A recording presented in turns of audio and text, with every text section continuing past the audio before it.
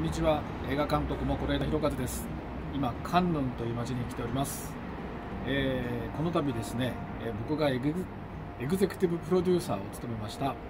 えー、10年、え日本版、え韓国でも公開の運びとなりました。あとても嬉しく思っております。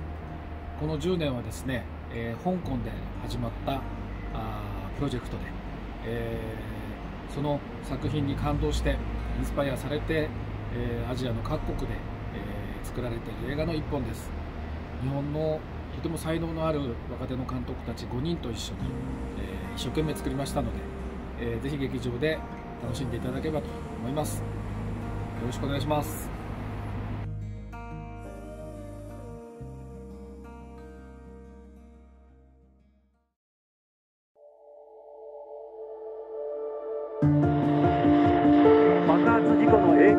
えー、次の地域の放射値レベルが許容範囲を超えていることが